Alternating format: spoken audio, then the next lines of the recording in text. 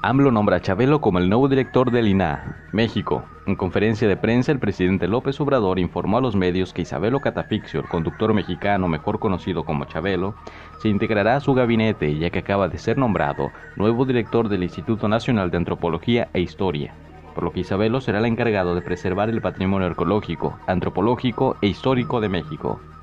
AMLO señala que por obvias razones Chabelo era el ideal para manejar la dependencia encargada de cuidar la historia, mencionando que le gustó que fuera un conductor famoso, ya que últimamente en Morena solo reciben gente de la farándula para darles un puesto público. Hice una encuesta sobre qué celebridad sería la idónea para manejar la dependencia que cuida la historia de México.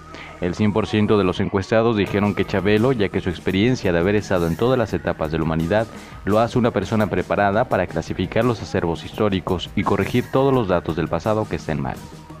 La verdad, él tiene todo lo que se necesita para estar en Morena. Es el que mejor domina el área de la institución que manejará. Es famoso y lo mejor fue elegido por una encuesta, ya que ahora así elijo a todo mi gabinete, dijo. Por su parte, Chabelo señaló que era una reestructuración en la institución, ya que muchos de los datos que hay son erróneos. Será un trabajo arduo, cuates, porque para empezar los que manejaron antes la institución clasificaron todo mal. La mayoría de datos históricos son erróneos y además unas figuras y otros accesorios antiguos que están catalogados en fechas no corresponden. Unas figuras las ponen como que son de hace mil años y en realidad son de hace tres mil cuando yo era chavo.